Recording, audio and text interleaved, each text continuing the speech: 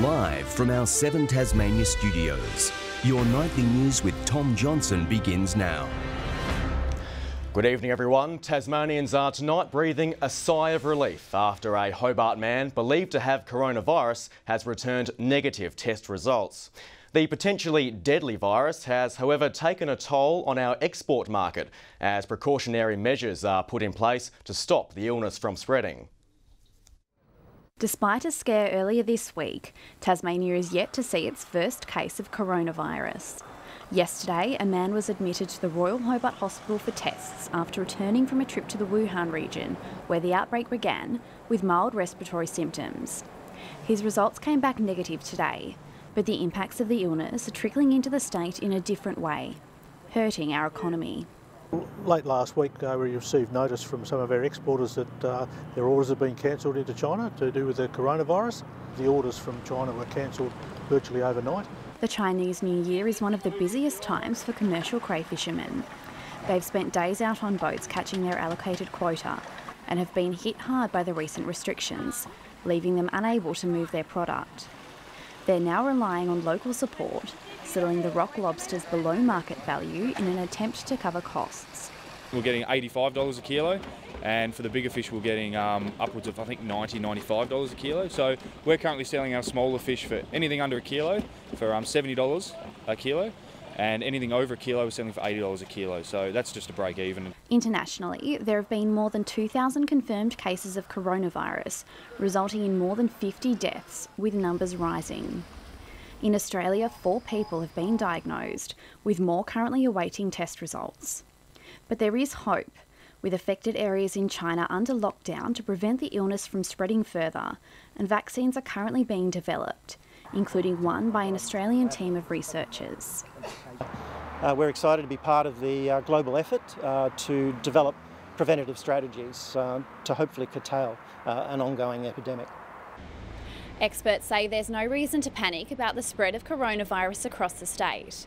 Infection prevention and control precautions are in place, with those undergoing testing kept in isolation while awaiting results. This is a uh, watch, wait and see uh, scenario. The, um, uh, we haven't seen any local transmission from the introduced cases in any of the other countries that we've seen it so far. The isolation has been effective. Anyone who has recently returned from China displaying symptoms of a fever and cough are urged to contact medical authorities. Ebony Ablett, 7 Tasmania News. Tasmanians from all walks of life, from medicine to tourism and community service, have today been recognised with Australia Day honours. It's one of our nation's highest awards, with passionate recipients across the state both thankful and humbled by the acknowledgement. This is where Peter McDermott feels at home, behind the wheel of the coach company he started 40 years ago. We started with a 1958 Bedford school bus, and we've had a few opportunities along the way and taken those opportunities. And uh, today, I think we've got over 60 buses and probably up around 100 staff seasonally. Today, his services to Tasmania's transport and tourism sectors saw him awarded an Australia Day honour. I'm very passionate about Tasmania and what we've got to show off, and I spend a lot of my time away promoting Tasmania. One of many Tasmanians recognised, among them our top police officer, Commissioner Darren Hine, awarded for his services to law enforcement. And for recipients like Jim, he's spent his whole life working for his Glenorchy community, awarded for his time spent potentially saving lives through defensive driving courses look ahead and create a bit of space around yourself. Be aware of what's ahead of you, what's behind you, and what's on either side. For her services to conservation and the environment, scientist Sarah Lloyd was thanked for her passion for slime moulds. But for this Rosevears doctor, he spent much of his time overseas. John Wetenholz travelled far and wide to improve water, sanitation and medical programs for countries in need. If we don't help people around this country, particularly in the Pacific, um, we're going to have bigger headaches than we might otherwise have. So, I mean, it works both ways. Starting in the 1960s, it's a passion for adventure that's kept Richard Bennett just as determined to capture the perfect shot. A veteran photographer of the Sydney Hobart Yacht Race, awarded for his services to photography. I enjoy the weather and the elements. Uh, I love adventure. Um, I'm interested in aviation, and uh, photography enabled me to combine all of those elements. Tourism heavyweight Robert Annals recognised for his dedication to hospitality. And just as Tasmania lives through another summer of bushfires, Bicheno's Douglas Renshaw, a member of the local RSL and a volunteer firefighter of three decades, was thanked for his services to the community. These just some of the long list of Tasmanians who've dedicated their lives to enriching the state they love. Thanked by all Australians. Michelle Wisby, 7 Tasmania News. Hundreds of Tasmanians, young and old, have headed outdoors to bask in Australia Day celebrations across the state. For many, today was extra special, marking their first day in a new life as Australian citizens. On the coastline, there were kids, quoits and tennis, but nothing says Australia Day like a sizzling sausage on the barbecue. Hundreds getting a taste of our national cuisine at Gravelly Beach for a free community celebration. We want a free family fun day where the parents can take their kids and it costs them nothing unless they want to feed them. The local fire brigade taking a break from a busy season, the only heat today was served in the coffees. It's great being an Australian, living in a lovely place that we do whether trotting or running, Go. land or sea, the day striking a chord with lovers of the outdoors. I think it's just a really lovely Aussie spirit here. This is what we're all about. While in Sandy Bay, sunny weather made taking the boat out an irresistible choice as bodies and boards paddled too. We're having a great day. The weather's putting it on for us. We've had some fantastic rowing races. For 565 Tasmanians, today was the first taste of life as a citizen in their adopted home. The smiles say it all. Extremely happy because we really worked hard to get a citizenship. I feel more nervous than my wedding day. Yeah, um, yeah, just because I guess it's quite significant. Another Australia Day done and dusted, for some the first of many more to come. Garth Burley, 7 Tasmania News. For many, Australia Day is not an event to celebrate. Thousands of protesters gathered across Tasmania for emotional Invasion Day rallies. Passionate activists today pleaded with governments to change the date as Hobart's protest march took over the city streets. A simple message. The streets of Hobart packed as an emotional protest wound its way through the city. Their voices ringing out loud and clear, pleading for the date of Australia Day to change. It really hurts. Um, I know my family right back to the time that the white people arrived here, and uh, we know many of them that suffered because of it. The Invasion Day rally also a celebration of Aboriginal culture and history. A wreath laid to remember those past before a moving minute's silence brought many to tears. It's a matter of respect. It's a matter of attempting to right the wrongs of the past, and it's a matter of acknowledging the the really scarred and damaged history that we have. The date really does need to be changed so that Aboriginal people and non Aboriginal people can come together and celebrate what it means to each of us to live in such a wonderful country like Australia.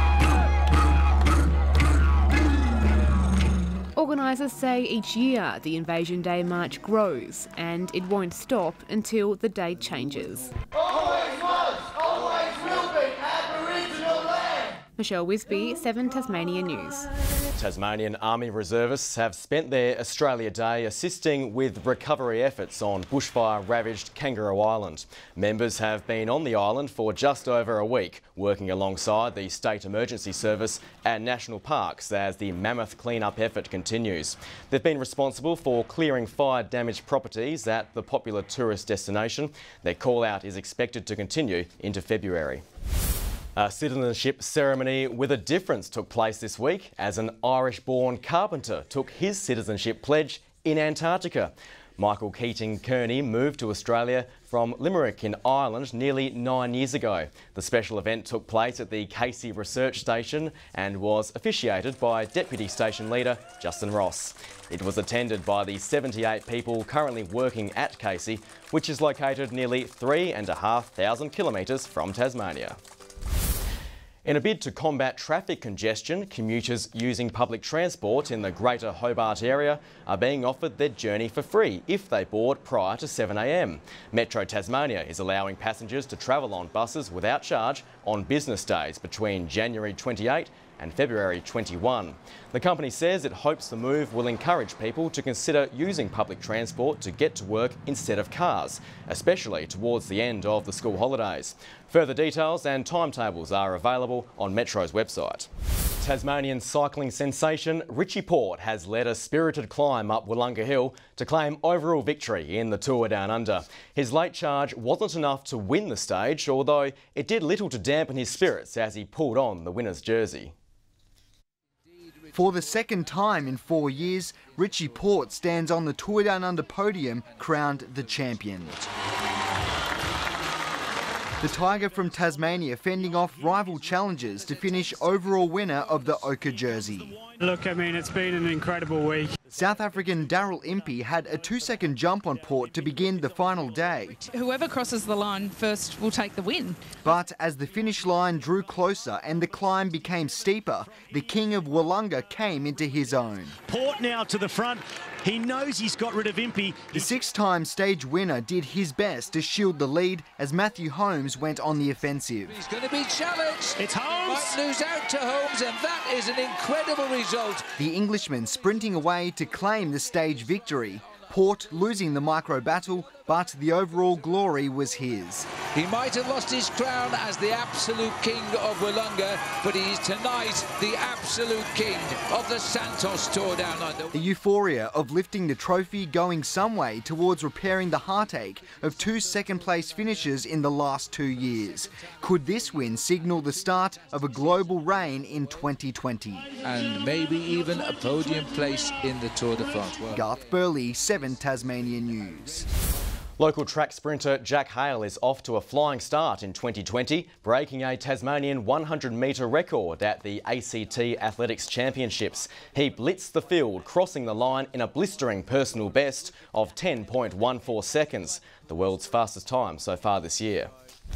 Good evening. Friendly Beaches had the state's top temperature today with 28 degrees. The state's overnight minimum temperature was at Mount Wellington with 7 degrees. 23 in Hobart, a top of 24 in Launceston, 22 in Burnie and Devonport. St Helens reached 25, 22 at Maria Island and Ouse, Smithton and Grove 21, Strahan 18 and a top of 16 in Liawenee. Low level cloud lingering around the north and west of the state during the morning before clearing around midday. Mid level cloud remained around the rest of the state. Patchy clouds swept along the country's south coast with a moist onshore flow. Low cloud also extended along the New South Wales coast. Tomorrow shows a surface trough grazing off the west coast of Tasmania, with another off the east coast and extending up into New South Wales. A high pressure system sits in the bight and a ridge dominates central Australia. West to northwesterly winds 10 to 20 knots, reaching 30 knots in the southwest. Seas mostly 1 to 2 metres, reaching 3 metres in the far south. There's a strong wind warning for the southwest coast. Tomorrow, cloudy and 22 in Hobart, 21 in Dover, possible showers and 22 in Ouse. Cloudy in Launceston, Devonport and Scottsdale.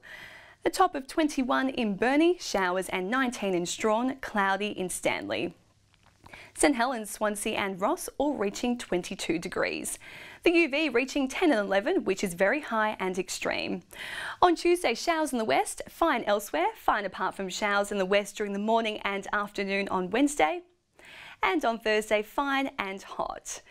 Very hot and sunny in Perth, 33 in Darwin, partly cloudy in Melbourne and 23, 36 in Canberra, a shower or two in Sydney and 28, Brisbane 31 and partly cloudy. And it's currently 19 in Hobart, Launceston partly cloudy in 21 and Devonport 19. And Tom, looking forward to your Australia Day barbecue tonight. Absolutely. Well, happy Australia Day, everyone. That is all your news for now. Thanks so much for joining us. Have a great night. These rights and liberties